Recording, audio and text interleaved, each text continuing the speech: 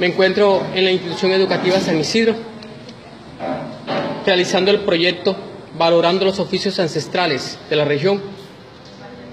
Los materiales con que se elabora este proyecto, con que se lleva a cabo este proyecto, son fibras vegetales de acá de la región. Acá tengo una muestra de junco, que es una fibra con que se lleva a cabo este proyecto. También otra fibra muy interesante es la cepa de plátano, que los jóvenes adquieren acá de la región, sacan acá de la región.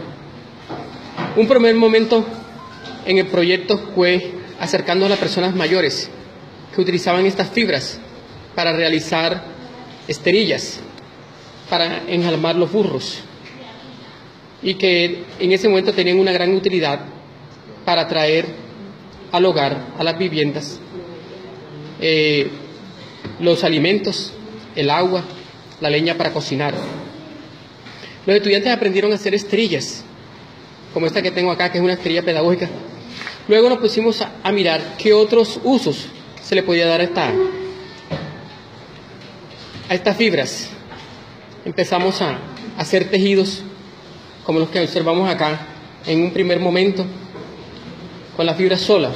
Luego, ¿qué otro, otros usos, qué otras cosas se podían hacer en el área de emprendimiento? Y empezamos a mezclar estas fibras vegetales, las empezamos a tejer con hilos, con hilos de colores como estos que observamos acá, para realizar manteles, portaplatos, portavasos. Los muchachos, los jóvenes realizan estos tejidos en grupos o individualmente. Este trabajo en grupo es de mucha importancia, es de gran importancia para ellos, porque se afianzan los valores, se afianza el compañerismo, la solidaridad, la hermandad entre los estudiantes.